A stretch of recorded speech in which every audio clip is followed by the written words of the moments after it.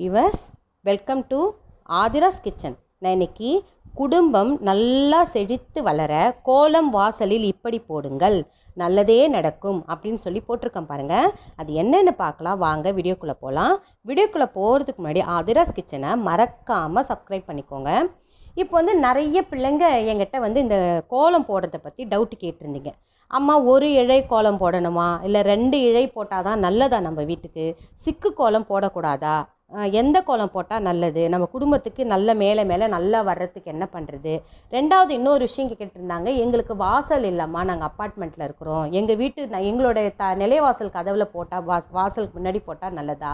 இதெல்லாம் எங்கிட்ட பிள்ளைங்க நிறைய டவுட் கேட்டிருந்தாங்க. அதை பற்றி தான் நான் இன்றைக்கி ஒரு வீடியோ போடணுன்ட்டு இன்றைக்கி போடுறேன். இப்போ வந்து நம்ம தெருவில் வாசல் தெ- தண்ணி தெளித்து கோலம் போடுறவங்களுக்கு வந்து நான் முதல்ல ஃபஸ்ட்டு சொல்கிறேன் என்னென்னு பார்த்தீங்கன்னா முத முத எடுத்த உடனே கதவை திறந்துன்னு போகும்போதே தொடப்பத்தை எடுத்துக்கிட்டு வெளியில் போகாதீங்க எடுத்த உடனே தொடப்பத்தை எடுக்காதீங்க. ஃபஸ்ட்டு ஒரு வாளி நிறைய தண்ணி எடுத்துகிட்டு அந்த வாளியில் வந்து இப்போ நம்மக்கிட்ட சாணம்லாம் நம்மளுக்கு கிடையாது. அதனால் பரவாயில்ல அதனால் விட்டுருங்க. அதுக்காக சாணம் பவுடர்லாம் வாங்கிலாம் போடாதீங்க. அதெல்லாம் தேவையே இல்லை.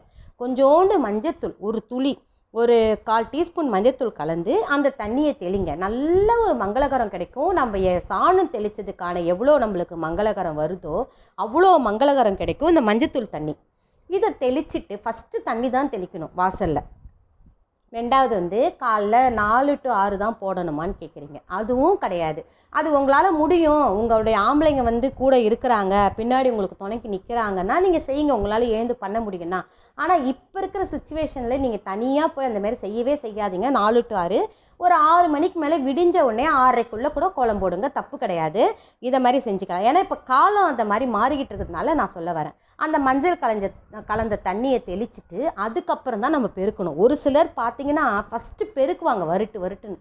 அந்த மாதிரி பெருக்கவே கூடாது. ஒரு பொழுதும். தண்ணியை தெளிச்சிட்டு அதுக்கப்புறம் பெருக்கிட்டு அதுக்கப்புறம் நீங்கள் வந்து உங்களுக்கு இப்போ ரெட்டை இழை கோலம் வரலன்னு வச்சுக்கோங்களேன். அதனால தப்பு இல்லை. ஒரு கோடை போட்டுட்டு அந்த கோடுக்கு பக்கத்தில் இன்னொரு கோடு போடுங்க. அதுவே நமக்கு ரெட்டை கோலமாக தான் நம்மளுக்கு கணக்காகும். தெரியலன்னா என்ன பண்ண முடியும்? ரெட்டை கோலம் போட்டால் நல்லது தான் வீட்டுக்கு வந்து நல்லது ஒரு சுப நிகழ்ச்சியே நடக்கும். நம்ம கோலம் போடும் போதே என்ன பண்ணணும்னா ஃபஸ்ட்டு நம்ம வேண்டுதலே அங்கே தான் வைக்கணும் நம்ம. ஏ- ஏதாவது உங்களுக்கு உங்கள் வீட்டில் ஒரு குறை இருக்குது என் கணவர் இப்படி இருக்கிறாரு. இல்லை என் பிள்ளை இப்படி இருக்கிறாங்க. எங்கள் வீட்டில் இந்த பிரச்சனை நடக்குது? அப்படின்ற பட்சத்தில் அதை நீங்கள் மனசில் வச்சுக்கிட்டு இது நிறை நிவர்த்தி ஆகிடணும் எல்லாமே நிவர்த்தி ஆகிடணும் அப்படின்னு சொல்லிட்டு எப்பயுமே கோலம் போடும்போது கீழேந்து மேல் நோக்கி இழுக்கணும். நம்ம வீட்டு பக்கம். நீங்கள் எப்பவுமே அந்த பக்கம் ரோட்டு பக்கம் நின்றுக்கிட்டு நம்ம வீட்டு பக்கம் இழுங்க கோலத்தை. நம்ம வீட்டு பக்கம் மேல் நோக்கி வரணும். எல்லாமே நம்மளுக்கு மேல் நோக்கி வரணும். செல்வ செழிப்பாக நம்ம இருக்கணும். காலைல ஏந்திருக்கும் போது அந்த வேண்டுதலேருந்து பெண்கள் வைக்கும் பொழுது நான் நிஜமாக சொல்கிறேன் உங்கள் குடும்பம் ரொம்ப ரொம்ப நல்லா இருக்கும். ரெட்டை இழை கோலம் எனக்கு தெரிஞ்சவங்க போடுங்க. இன்னொருத்தவங்க கேட்டிருந்தாங்க அம்மா சிக்கு கோலம் போட்டால் குடும்பத்தில் கஷ்டம் வருமான்னு. அப்படிலாம் எதுவும் கிடையாது. ரொம்ப பெருசாலாம் இப்போ யாருக்கும் சிக்கு கோலம் போட தெரியறதில்ல. எனக்கு தெரிஞ்சு நான் என்ன சொல்ல வரேன்னா புள்ளி வச்சு அந்த கோட்டை இணைங்க. அந்த கோட்டை இணைக்கிறது மூலியமாக என்ன ஆகுன்னா நம்ம குடும்பம் வந்து ஒற்றுமையாக இருக்கும். அது ஒருலாம் இதில் ஒரு ஒரு ஐதீகம். இதெல்லாம் ஒரு அந்த காலத்துலேருந்தே நம்ம முன்னோர்கள் பின்பற்றின ஒரு விஷயம். அப்போல்லாம் ரங்கோலின்றதெல்லாம் கிடையவே கிடையாது. இப்போ தான் ரங்கோலி வந்திருக்குது. அது பரவாயில்ல. ரங்கோலி தெரியிற பிள்ளைங்க போடுங்க. பூக்கோலம் கூட ரொம்ப நல்லது. வீட்டுக்கு ரொம்ப ரொம்ப சுபிக்ஷம். தாராளமாக போடலாம். அப்புறம் இந்த தாமரை பூ கோலம் போடாதீங்க ரோட்டில் அப்புறம் வந்து சங்கு கோலம் போடாதீங்க. இருதய கமல கோலம் போடாதீங்க. இதெல்லாம் வந்து பூஜை அறையில் மட்டும்தான் போடணும். இந்த ரெட்டைக்கோடு வர முடியாதவங்க இதோ இந்த படத்தில் இதோ காட்டிருக்கேன் பார்த்தீங்களா இந்த மாதிரி போட்டுக்கோங்க. இந்த மாதிரி ஒரு கோடு எடுத்து கூட ஒரு கோடு போட்டு போடுங்களேன். நீங்கள் அந்த கோலம் போடும் போதே உங்கள் வேண்டுதலை வைங்களேன். என்னுடைய என் வீட்டில் இப்படி நடக்குது என்னை என் பிள்ளைங்களுக்கு இப்படி நடக்குது அப்படின்ற மாதிரி வைங்க. அதே மாதிரி இந்த காவின்றது வந்து எல்லா நாட்டு மருந்து கடையிலையும் கிடைக்குது. அதை வாங்கி வச்சுக்கோங்க. வெள்ளிக்கிழமானா இந்த மாதிரி ஒரு கோலத்தை போட்டு அந்த காவியை சும்மா கொஞ்சோண்டு அதில் போட்டு பாருங்களேன்.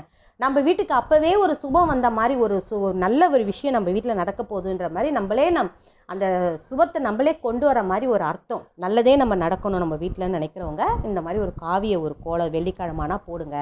இதெல்லாம் வந்து சிம்பிளான ஒரு விஷயந்தான் கவலைப்படாதீங்க. எனக்கு கோலமே போட தெரிலம்மா நான் தப்பு தப்பாக போடுறேம்மா. அதையும் நினைக்காதீங்க. உங்களுக்கு தெரிஞ்சதை போடுங்க.